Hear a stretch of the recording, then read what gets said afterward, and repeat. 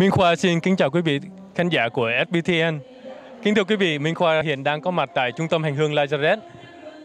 Ờ, cứ hàng năm vào khoảng tháng 7 hoặc là cuối đầu tháng 8 là những người Việt Công giáo tại vùng New England sẽ tụ tập tại nơi đây để cùng nhau tôn nghinh à, Đức Mẹ là Mẹ Thiên Chúa là kính thưa quý vị chủ đề của ngày hôm nay với chủ đề là cùng mẹ lên đường và quý vị cũng biết là ngày hành hương tại trung tâm Lazareth là một uh, trong những cái event lớn của người Việt Công giáo tại vùng New England.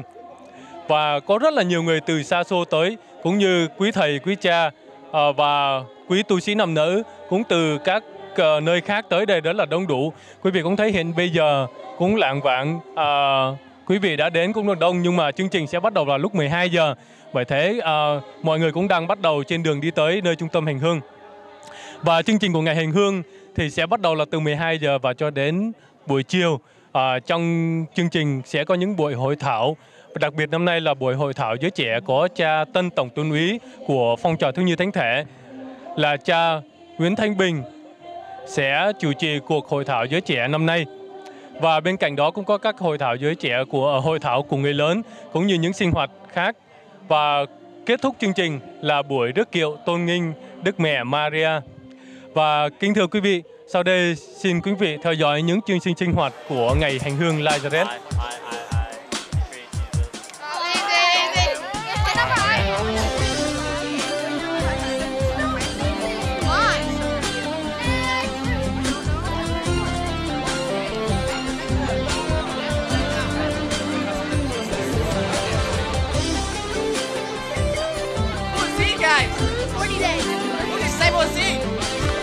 Saw Jesus fly up to the sky. Wow. Who is he? Who am I? Who is he? Yeah, I saw Jesus fly up to the sky. đã trông đến Wow, wow. long live Jesus died. ngợi khen đức mẹ là vàng Okay. đỡ nâng ai luôn cầu khấn tình mẹ quá thật bao la chưa xua đuổi ai bao giờ mà luôn dắt dìu nâng niu dẫu con ơn yêu trăm chiều three parts. First part is the whatever. So I'm gonna say, so basically you're gonna do this, you're gonna go,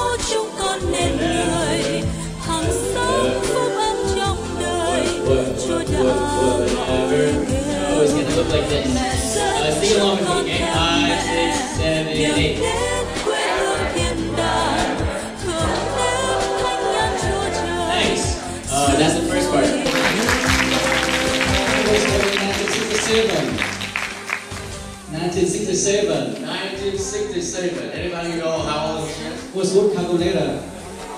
Huh? What is? Oh, we got the single. 35. 45 years old. Nhà cha đang ở đâu? Where do you live? Yes, I live in Washington D.C. I've been there for a year now. Uh, prior to that, I was in St. Louis, Missouri. Cha đang lập gì ở Washington DC? What And you know that some of you know that General uh, thiếu nhi thể. Kính thưa quý vị khán giả, à, Minh Khoa đang có mặt tại uh, tại nơi hành hương trung tâm hành hương của Lazareth và bên cạnh Minh Khoa đây là cha Du Nguyễn Tuấn Linh à, là trưởng ban tổ chức của cuộc hành hương năm nay.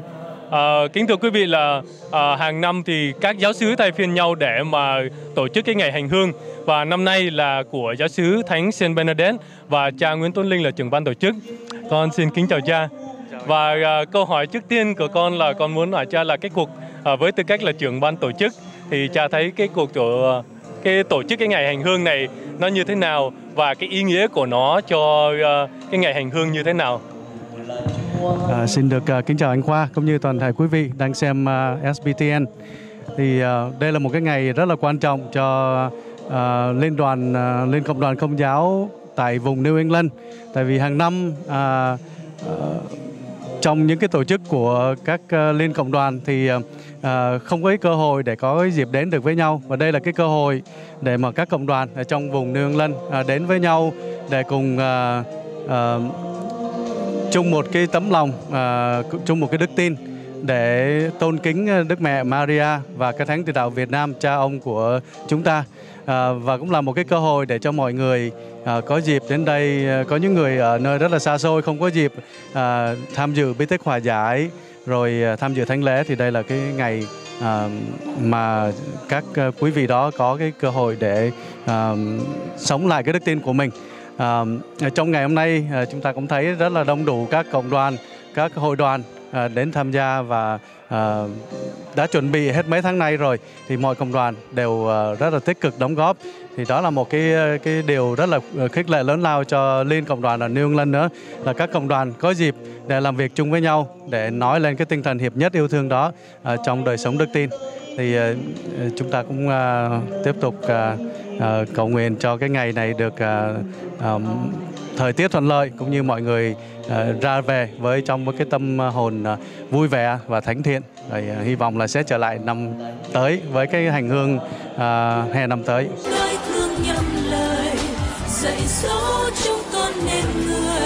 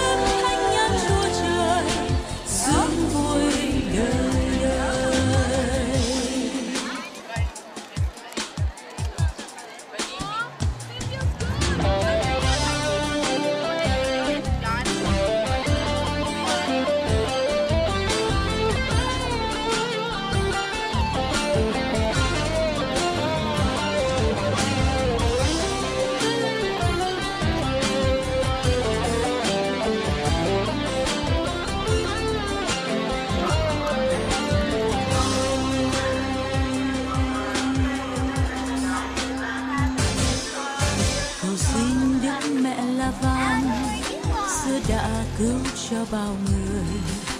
Vượt cơn ác mộng đau thương, trải qua bao cơn cùng khổ. Ngày nay thế tục phong ba, biết bao trước mưu gian tà. Làm con rất mực lao đao, ngã xa không biết khi nào.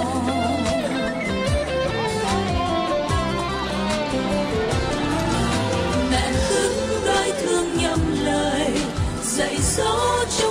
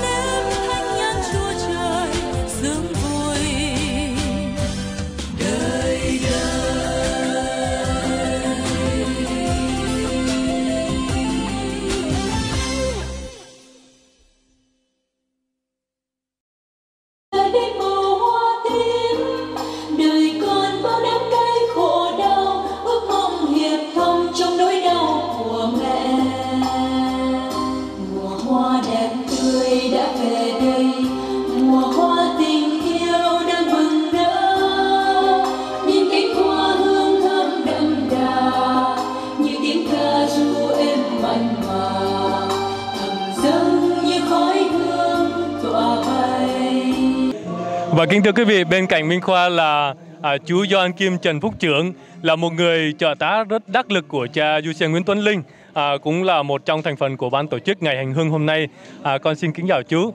À, cũng như uh, câu hỏi con muốn hỏi giống như cha thì chú cũng là một trong thành phần trong uh, ban tổ chức và cũng là một cái cánh tay phải đắc lực của cha Linh. Thì uh, chú không biết là cái cuộc cái cái hai cái cuộc tổ chức này nó có cái khó khăn gì không hay là có vất vả cái, cái sự chuẩn bị nó như thế nào chú? Không thì bất cứ một cái cuộc uh, tổ chức nào nó cũng có những cái khó khăn của nó. Tuy nhiên là chúng ta phải phối trí và chia ờ, công tác cho nhau cho tất cả các công đoàn trong vùng liên linh. Mỗi người chịu trách nhiệm một phần một khâu thì uh, tất cả mọi cái gì cái khó khăn cách mấy thì cũng qua được. Dạ, dạ. Và uh, chú thấy cái um, hiện bây giờ tôi thấy là cũng thấy một số đông rồi chú nghĩ là năm nay mọi người sẽ có thể trả đáp án giống như đi tham dự cái ngày hành hương này đông hơn năm ngoái không chú? Tôi, tôi nghĩ rằng ít ra là cũng phải ngang hoặc hơn à, bởi vì à, chúng ta cổ động rất là rộng rãi đó à, thông báo cho các nơi nhờ SBTN cũng cổ động dùm cho tôi hy vọng năm nay kết quả số người đi tham dự hành hương sẽ đông hơn.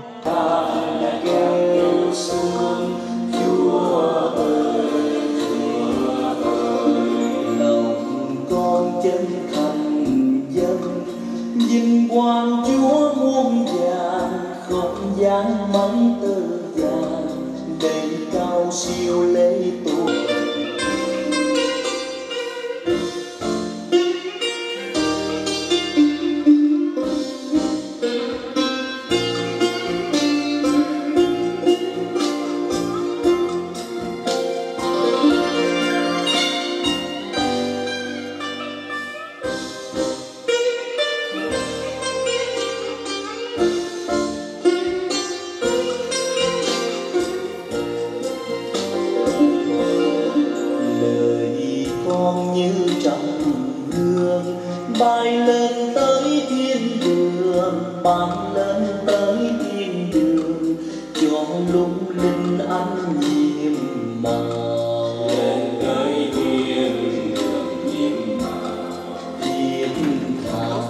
tu Thứ bốn là cha Du Xe Cao Cảnh hiện đang làm quản nhiệm của cộng đoàn Chelsea, Modern và Hebrew.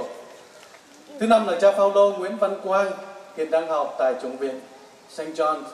Thứ sáu là cha Phêrô Bùi Minh Tâm hiện đang coi cộng đoàn là cha chánh xứ của cộng đoàn Our Lady of Vienna ở Worcester và ngài cũng là cha giảng thuyết trong thánh lễ hôm nay. Thứ bảy là cha Timotheo Nguyễn Văn Tính hiện đang làm Quan nhiệm của cộng đoàn Thánh Ambrosio ở Dorchester.